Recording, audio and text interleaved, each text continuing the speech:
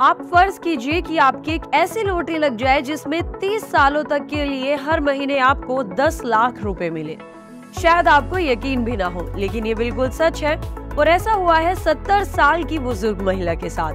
Docking की एक 70 साल की बुज़ुर्ग महिला ने अगले 30 सालों तक के लिए हर महीने 10 लाख का लॉटरी पुरस्कार जीता है। उनका कहना है कि इससे उन्हें 100 साल तक जीने की वजह मिलती है। डोरिस को पहली बार लॉटरी टिकट खरीदने का तब सूझा जब उन्होंने अपने घर और बगीचे में कुछ डरावनी रेंगने वाली मकलियाँ देखी। ये मनी स्पाइडर्स थी यानी कि मकलियों की एक खास प्रजाति थी। दरअसल ब्रिटेन में ऐसा माना जाता है कि ये मकलियाँ अगर दिख जाएँ, तो इंसान के पास पैसा ही पैसा आने वाला है। घर और गार्डन में ये मकड़ियाँ दिखने के बाद महिला को यकीन हो गया कि अब ऐसा ही होने वाला है। उनके सत्तरवे जन्मदिन की पार्टी के जश्न के दौरान जब उन्हें पता चला कि वो सच में माला माल हो गई तो उन्होंने कहा कि मेरे सत्तरवे जन्मदिन की पार्टी थी, इसीलिए हम सब काफ़ी बिज़ी थे। इस बीच मैंने द नेशनल लॉटरी का एक ईमेल देखा। मैंने ऐप पर लॉगिन किया। ये सोचते हुए कि मैंने शायद एक हज़ार रूपए जीते होंगे।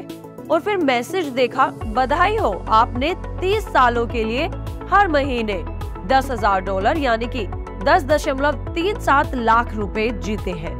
मैंने अपने पति कीत से कहा, क्या मैंने ये सही पढ़ा है? क्या यह वही है जो मैं सोच रही हूँ? नहीं, ये नहीं हो सकता। इसके बाद महिला मेल का मैसेज एक बार फिर चेक कराने के लिए अपने दामाद के पास गई।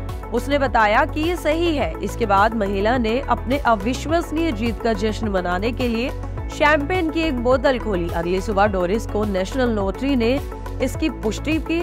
उन्होंने आगे कहा, ये अभी भी थोड़ा अजीब लगता है। जब मैं जीत के बारे में सोचती हूँ, मुझे इतना पैसा तीस साल तक हर महीने मिलेगा। ये मुझे सौ साल की आयु तक जीने की वजह देता है। इसके बाद महिला ने बताया कि इस जीत की वजह से अब उनके पति की हवाई जहाज़ पर पहली यात्रा होगी। वो हर वक्त देश में एक पूल और धूप वाले विला में रहना चाहती थी और अब वो ऐसा ही विला खरीदेंगी।